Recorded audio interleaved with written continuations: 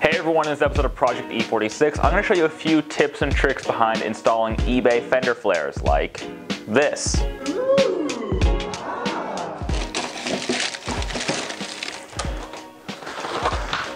Step zero is to, well, first buy fender flares. Obviously, if you hop on eBay, there are tons and tons of different options. So you want to kind of take a second to figure out what's going to fit your car best. Now, if you look on eBay, there are different kinds of flares. Very generally, you're to find ones that are more tapered, like this, or ones that are kind of broad across the whole radius of the flare. And then from there, you're also want to figure out how wide of a flare you need for your car. And when they arrive, it'll look something like this. You'll get this box and a nice flare in a bag, like so.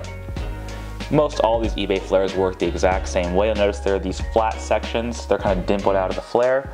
This is how you're gonna mount the flare to the body of the car. Now what you're basically gonna do is using a punch, you're gonna punch little holes in the flare on those little flat sections, probably like right in the center. And then this punch will give you a great starting place to drill out holes in the flare. Now with this kind of plastic you're wanting to use a either a step drill bit or start with a very small drill bit to start going through so the plastic doesn't just shred when you try and drill through it because it's very brittle. But basically you're going to drill out these holes right here to mount the flare. The size of the hole you're to need to drill is going to depend on the next item. Now the size of the hole you drill in the flare is going to depend on your riv nuts. Now what the riv nut you might be asking? Well it's this little guy. What this is, is a little fastener with a knurled edge. Now what you do is using a riv nut tool, you can actually press this guy into the bodywork and it has a threaded center. That way, you basically place this into the bodywork behind where the flare is going to go. That way you can put a bolt through the flare and into the riv nut. It's really clever. But in order to install one of these, you unfortunately do need a riv nut gun or riv nut tool.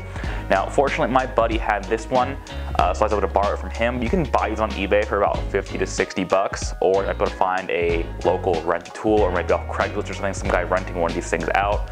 Um, this basically allows you to, sorry, I work a little differently, but you basically uh, put the riv nut onto the end right there, and then you adjust the tool properly like I've not done for this sake of this video, and you go BAM! And it kind of crimps this riv nut into the bodywork of the car. Here I'll cut two clips of me doing this so you can understand exactly what I'm talking about.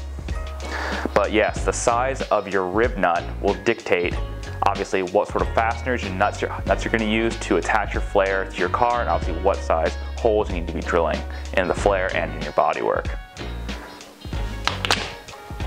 The next step is obvious. You need to mock the flare up onto the fender of your car and see how it's gonna sit. How is the fitment? Now obviously being a generic eBay flare, the fitment is just not gonna be perfect. Uh, but the thing to know is that you should probably, well, hopefully, hopefully you bought flares that roughly match the contour and width of your wheel opening or your fender opening. But these flares can bend like this, and when they bow, they actually widen the flare because you're tightening that radius. So you're gonna kind of like bend it and mock it in place as a house is gonna sit on the fender. Then, once you have your holes drilled out of this guy, you basically mock it up onto the fender with tape and then use a Sharpie or paint pen and kind of mock out on the fender where you need to drill your holes to put your riv nuts. Hopefully I've filmed a nice time lapse of all this, you understand exactly what I'm talking about, but once you drill the holes in the flare and mock it onto the fender of the car, it's pretty straightforward. So once you have your flare mocked into place and your fenders marked with where your riv nuts need to go, it's time to remove your flare and actually use the riv nut gun on your fenders. Uh, most of these eBay flares come with provisions for six riv nuts or six fasteners. That's what I ended up doing. Uh, making the eBay flare fit, at least on my E46, um, the E46 front fender is very complicated. It's a very complex shape if you look at it. There's multiple curvatures, multiple different angles, so that made it a bit tricky. Uh, what I best found was to mock up the flare on the fender such as the opening of the fender flare was at the same height parallel to the height of the fender opening on the stock car otherwise would be. Uh, that was able to kind of perfectly line up with a body line on the stock fender so that the flare would not interfere and kind of all fit in place. Again, it's not gonna be perfect. These are generic fender flares are quite rigid, made, cheap, made of cheap plastic, ultimately. But that's what I ended up doing. Uh, hopefully again I have nice clips here so you can see exactly how this all works. Once you do this to one fender, it's gonna take you a long time for the first fender, but after that it's a piece of cake. So congratulations, once you riv nutted your stock fender, you're halfway through the painful bit. Now obviously with fender flares, the goal is to actually cut the inside of the fender lip to give you that extra wheel clearance, especially under compression as the suspension moves up and down. So the next step is to bolt the flare in place and kind of check out your handiwork. Now obviously the nice thing about the riv nut is that it's easily removable. So all you have to do is buy a bolt that matches this. In this case this is an M6 to 1 thread pitch. So you go buy a bunch of M6 bolts and that's how you bolt your fender, your flare onto the fender really straightforward. So bolt it on and see what you got. Now in my case, unfortunately, my measurements were not the best. My flare was a little bit off. And so I actually ended up having to redo some of the riv nuts on certain areas of the flare. I guess that's why it's important to measure things more thoroughly. Uh, this process is much easier if you use a second set of hands.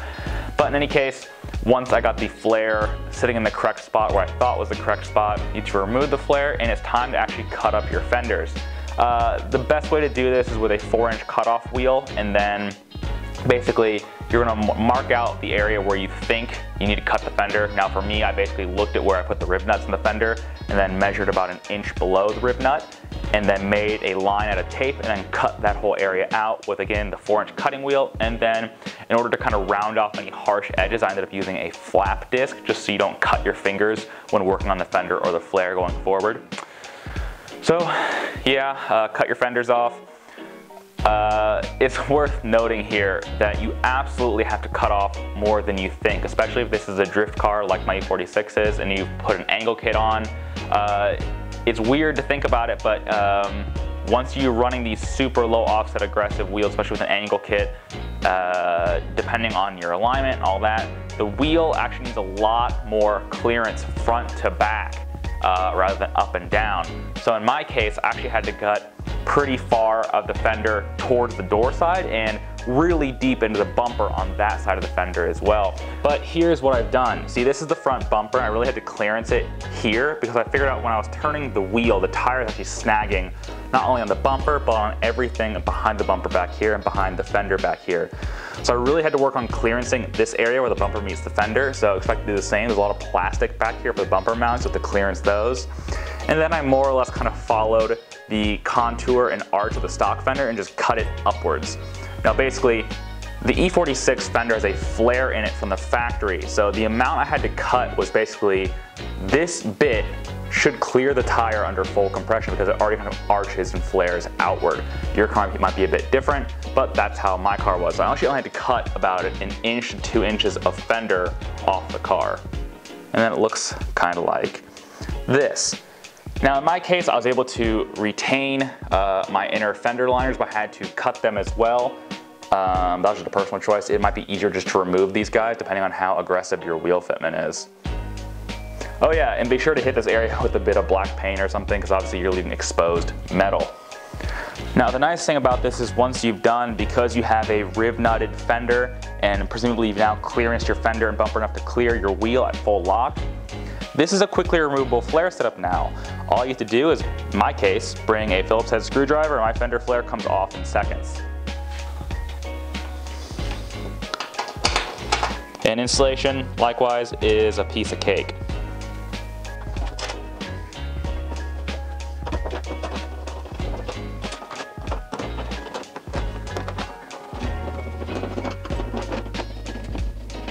See, check it out, fender flare is back on in just under a minute. Now in my case, for my particular needs, I ended up buying a 4 inch flare, so it's pretty wide, but it's only, because again, the factory E46 fender has a bit of flare in it in the first place. It comes out to about here. So it already has about a two and a half inch flare to three inch flare from the flare from the factory. So that's kind of what I needed to clear this new wheel and tire setup, which I'll talk about in a second.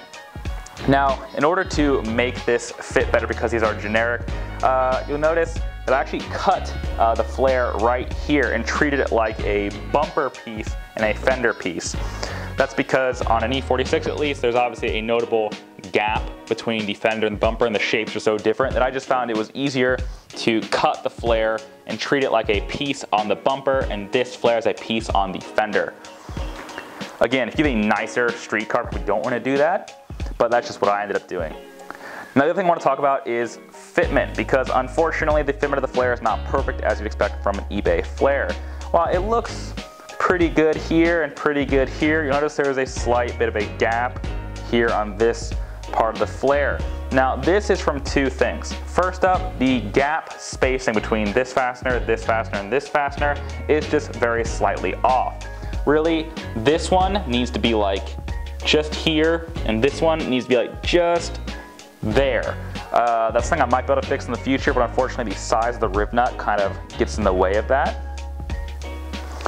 Now the other thing you want to do is if you, again, if you really care about proper fitment, is mold these flares better. Now there are two things you can do here. The first thing is you can buy uh, fender flare trim. It's like a rubber trim piece that sits on the back of the flare and helps it adhere to the body line a little bit better. I'm gonna buy that in the future. Now the other thing is once you buy that trim that kind of goes between the fender and the actual flare, you're gonna to take a heat gun to the flare to better help it kind of mold and form to the contour of the stock fender. However, this is a drift car and I think I've done my due diligence uh, so far at this point.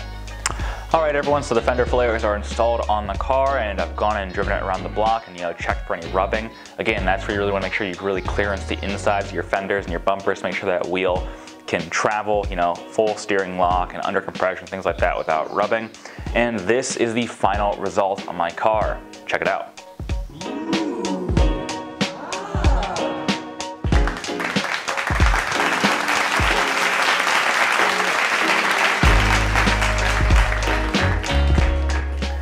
Again, it's not perfect. This is a generic eBay fender flare. Again, I clearly didn't do the very best job of installing these things my first time doing flares. You can see some areas where I messed up. It's not the prettiest, but fortunately this is a drift car and as long as it looks good from 10 feet, I'm chilling. Now for those of you wondering, I've gone through all this work because I've installed new suspension in this car and crucially the SLR Ultra front angle kit which kicks out the track width almost like 3 inches total in the front and obviously in order to get all that great steering angle I needed a really low offset wheel that's pushed out really far. That way I could clear the chassis at full steering lock. So my wheel fitment is as follows. Up front is a BMW M Parallel. That's an 18 by 8, 13 offset from a BMW E39 5 Series. And from there, I put on the car a 12.5 millimeter spacer to push the wheels out even further. The end result is a 18 by 8 effective zero offset wheel with a 235/40 tire, and I think it looks absolutely great. I'm really stoked on the way the car looks. Looks really purposeful, really aggressive, really functional. But what do you guys think? Uh, let me know in the comments down below. Did I ruin my car with eBay fender flares? did I make it a little bit more functional and cool as a drift day car? Uh, yeah, let me know and I'll see you guys next episode. All right, bye.